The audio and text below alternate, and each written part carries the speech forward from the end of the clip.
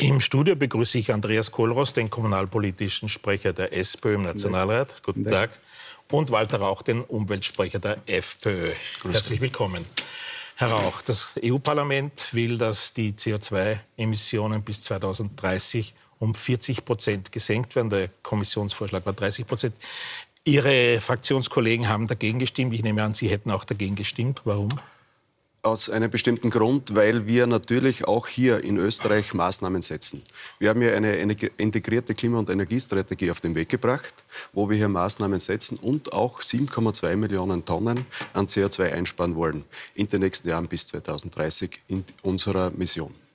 Jetzt gibt es aber Umweltwissenschaftler, die sagen, auch mit 40 Prozent CO2-Einsparung äh, wird das Klimaziel, das in Paris gesetzt wurde, zur Erderwärmung nicht erreicht. Das wird zu wenig sein.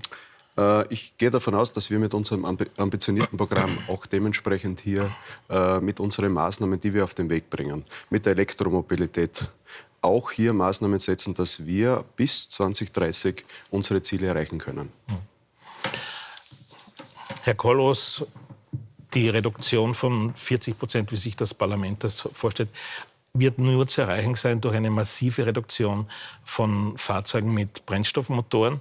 Äh, Sie sind Bürgermeister einer Gemeinde südlich von Wien, quasi im Zwickel zwischen Südautobahn und Burgenland-Autobahn, eine Gemeinde mit sehr vielen Tagespendlern nach Wien. Äh, würden Sie diese Politik Ihren Bürgern schmackhaft machen können?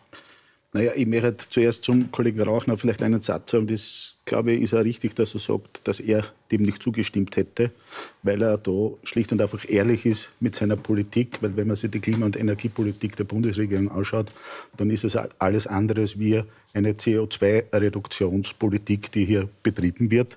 Und deshalb ist es völlig legitim, dass er sein eigenes Regierungsprogramm nicht konterkariert. Das hilft uns halt nicht, nur nichts beim CO2-Ausstoß. Und der zweite, die eigentliche Frage, die zu beantworten, ist, ich glaube nicht, dass ich es meinen Bürgerinnen und Bürgern schmackhaft machen kann, weil ich glaube, dass vor allen Dingen im Speckgürtel um Wien, und da befinden wir uns letztendlich, nicht nur darum geht, den Individualverkehr zu stärken, sondern es geht vor allen Dingen darum, den öffentlichen Verkehr auszubauen.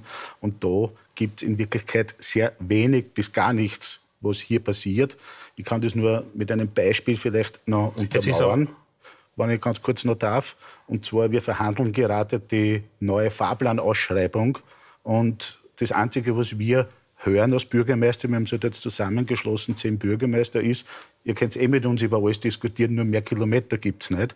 Und wenn das die Politik ist, dann kommt am Ende des Tages raus, dass man eben nicht äh, den Individualverkehr beseitigt, sondern dass man den in Wirklichkeit stärkt. Jetzt ist Österreich aber, was äh, Bahnverkehr, öffentlichen Verkehr betrifft und auch öffentlichen Transport, relativ weit vorn in Europa.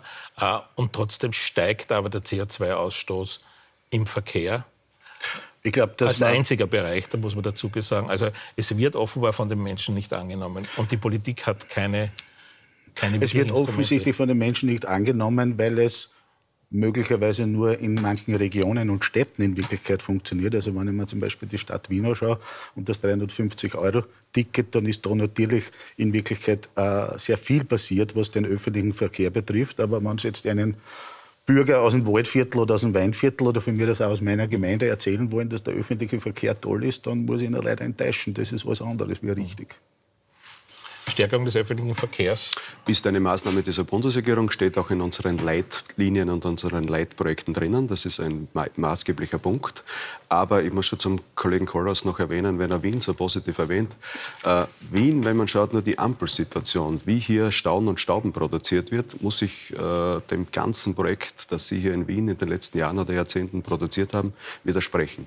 Ich gehe davon aus, dass eine vernünftige und bürgerfreundliche Verkehrspolitik, auch im Sinne der Umwelt und auch im Sinne des CO2-Ausstoßes, den zu reduzieren, auch hier Maßnahmen gesetzt werden müssen, ähnlich wie in der Steiermark in den Jahren 2010, 2011, 2012, hier eine grüne Welle einzuführen. Und was unsere Maßnahmen dieser Bundesregierung jetzt sind und auch des Parlaments, dass wir sagen, durch den IGL 100er, auf der einen Seite, dass die E-Mobilität äh, die E-Mobilität hier dementsprechend äh, aufgewertet wird. Aber auch, weil das gerade in Wien auch ein Thema ist und hier eine Absage gekommen ist, dass die Busspuren äh, von den E-Autos nicht verwendet werden dürfen.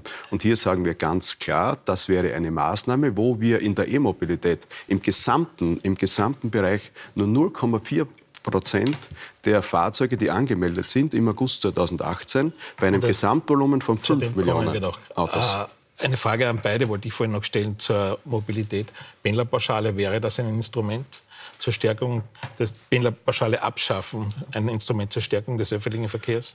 Die Pendlerpauschale Abschaffung funktioniert meiner Meinung nach nur dann, wenn wirklich parallel dazu ein flächendeckendes öffentliches Verkehrsnetz stattfindet. Ansonsten ist es nur äh, ein, eine Pseudoaktion und belastet in Wirklichkeit jene, die nicht den Arbeitsplatz vor der Haustüre haben. Und das würde ich für den falschen Weg halten. Natürlich muss alles in Richtung Ausbau des öffentlichen Verkehrs gehen. Und wenn ich nur einen Nebensatz noch mehr sagen darf, aber es gibt zumindest außer Wien kein anderes Bundesland, wo man um 365 Euro im Jahr äh, mit öffentlichen Verkehrsmitteln fahren kann. Also da könnten Sie andere Bundesländer, ganz, unter anderem auch Niederösterreich, der Herr, eine der Herr Rauch hat vorhin schon ein, ein Stichwort gegeben. E-Mobilität. Im Vorjahr wurden 320.000 Autos mit Kraftstoffverbrennungsmotor angemeldet und 5.400 Elektrofahrzeuge. Also das sind dann nur Placebo-Maßnahmen, die jetzt diese Woche im Ministerrat hier Nein, nein, da muss ich vehement widersprechen. Das sind keine Placebo-Maßnahmen, das sind Anreizmodelle. Denn wir haben uns auch verschrieben seitens dieser Bundesregierung und auch der Parlamentsclubs, der beiden Regierungsparteien, äh, nicht mit Verboten zu arbeiten, sondern mit Geboten und dementsprechend auch mit Anreizmodellen. Und hier soll ein Anreiz geschafft werden, dass die E-Mobilität steigt. Wie vorher erwähnt, wir haben ja nur 18.000 Fahrzeuge, die zurzeit mit E-Mobilität betrieben werden, aber auch gleichzeitig nicht nur die E-Mobilität, sondern auch alle anderen alternativen Kraftstoffe, die möglich werden. Anreiz sieht auch so aus, dass zum Beispiel der Vorschlag kommt von der Bundesregierung, die Gemeinden sollen E-Mobilität fördern, indem sie gratis Parkflächen etc., Ladestationen zur Verfügung stellen. Was sagt der Bürgermeister Strumau dazu? Der Bürgermeister sagt dazu, was er immer sagt, wenn solche Vorschläge kommen, prinzipiell in Ordnung. Aber was ich nicht in Ordnung empfinde, ist, dass immer von der oberen Ebene auf die untere Ebene irgendwelche Vorschläge kommen. Dann sollte zumindest ein Zusatzvorschlag dabei sein, nämlich wie äh, die Finanzierung diesbezüglich zum Beispiel was E-Tankstellen betrifft, ausschaut.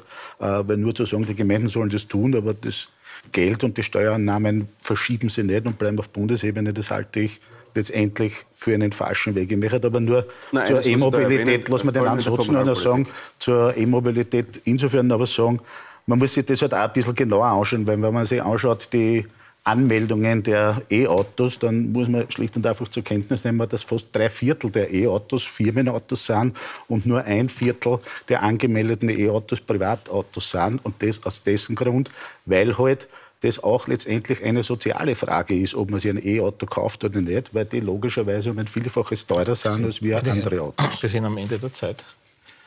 Einen Satz, einen Satz dazu äh, betreffend der kommunalen Ebene. Ich bin selbst Kommunalpolitik, Politiker. Und wir haben auch hier in dem Jahr 2018 heuer elf E-Tankstellen gebaut. Äh, auch, da gibt es Maus, auch da gibt es Maßnahmen. Und ich gehe davon aus, dass wir, wenn wir mit ambitionierten Zielen vorangeht, auch dementsprechend auch diesen Prozess positiv in den nächsten Jahren voranschreiten. Meine Herren, ich danke für den Besuch. Danke